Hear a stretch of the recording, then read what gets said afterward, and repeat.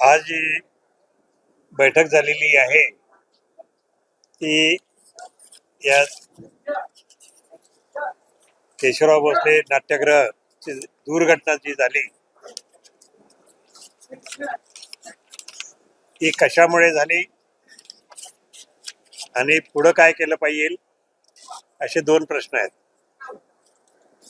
तर पहिला पहिला प्रश्न तर निश्चित असा असा आहे की त्याच्याबद्दल पूर्ण चौकशी झाली पाहिजे.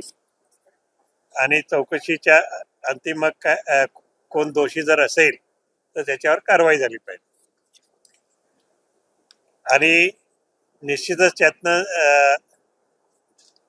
अनेक इन्क्वायरीज अशा होतात पण त्याच्यातनं निष्पन्न काही होत नाही.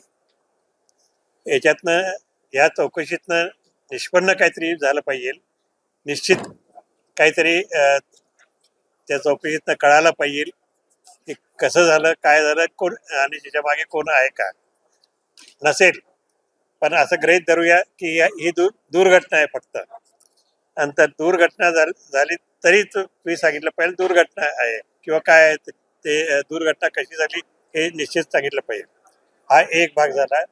आणि दुसरा भाग ज्यासाठी आपण आज खर खऱ्या अर्थाने आज इथं सगळे जमलो होतो ते म्हणजे याची पुनर्बांधणी कशी करावी?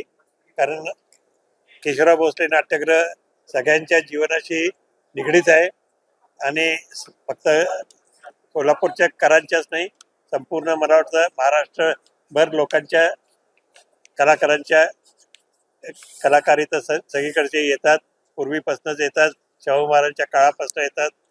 त्यांचा पहिला प्रयोग संगीत सौभद्र जो झाला होता तेव्हापासनं लोक बघायला येतात. नाट नाटकं. तर निश्चितच याची पुनर्बांधणी झाली पाहिजे. आणि पुनर्बांधणी करताना त्याच्यामध्ये काही जे आत्ताच्या वास्तूमध्ये काही उणीवा जर असतील त्या दूर कशा करता येईल येतील हे बघितलं पाहिजे.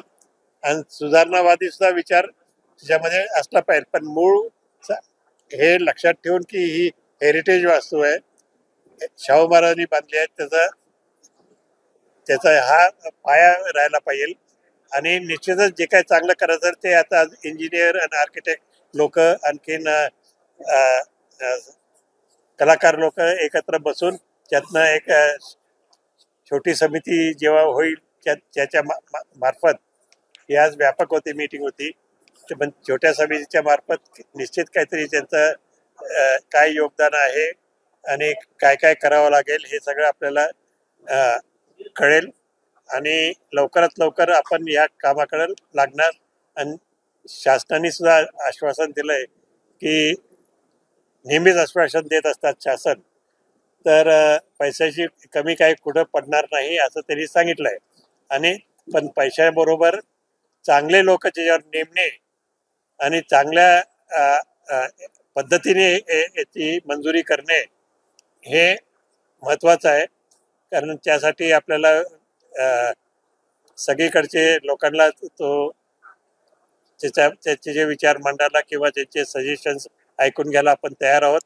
आणखीन एकंदरीतच हे लवकरात लवकर चांगली वास्तू व्हा- व्हावी यात कोणाचंही दुमत नाही सगळ्यांचं दुमत आणखीन चांगली होण्यासाठी जे काय करावं लागेल ते केलंच पाहिजे की जेणेकरून आता पुढचे एकशे तीस वर्ष जवळजवळ एकशे पन्नास वर्ष पुन्हा हे सुस्थितीत राहील असे या दृष्टीकडून आपण विचार केला पाहिजे.